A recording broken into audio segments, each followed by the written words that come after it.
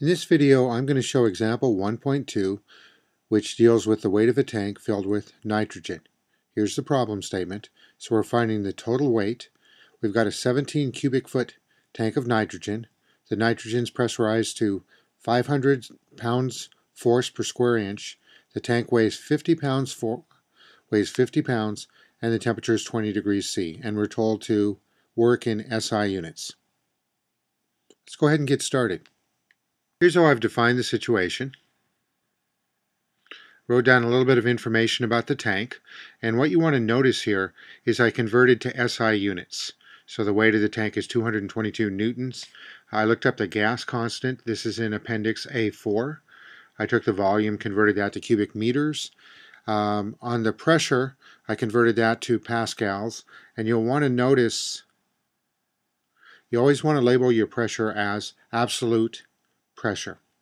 And the temperature is converted to thermodynamic temperature or Kelvin. Notice that I wrote down my assumption here. I assume the ideal gas law applies because the pressure is very high in this situation, and here's the goal. The total weight, which is the weight of the nitrogen plus the weight of the tank. All right, now that we've got the problem formulated, let's go ahead and generate ideas. Okay, for my first idea, the total weight is the weight of the nitrogen plus the weight of the tank. This is known. This is the problem goal. So if we can find the weight of the nitrogen, we're done. And we can use um, the Newton's law of universal gravitation. So Newton's law of gravity to say the weight of the N2 is equal to the mass of the N2 times the gravity constant. This is 9.81 meters per second squared. This is the goal.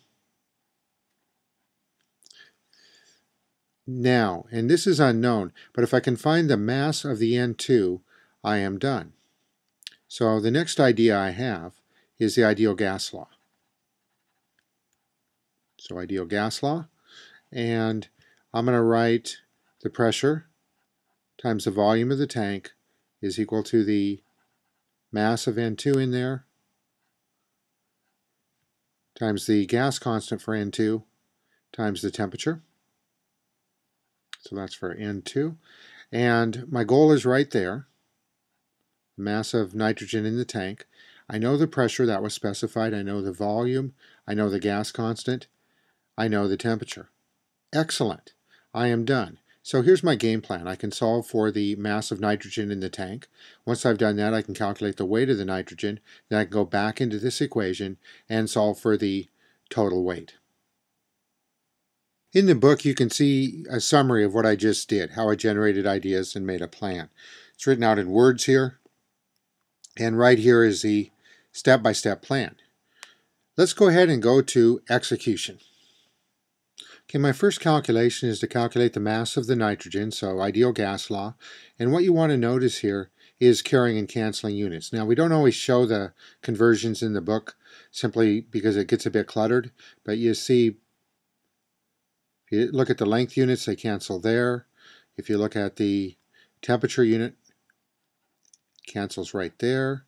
Um, let's see, the newtons cancels there.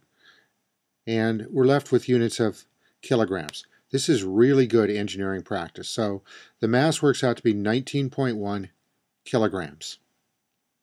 Our last two steps are to calculate the weight of uh, the nitrogen, very straightforward, 187 newtons right here. And in the total weight,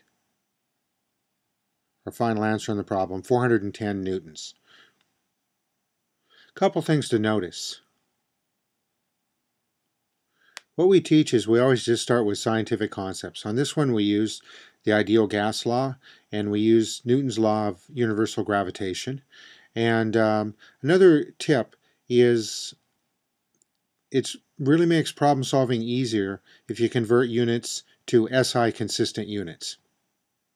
Hope you enjoyed this example and let's go ahead and move on to something else.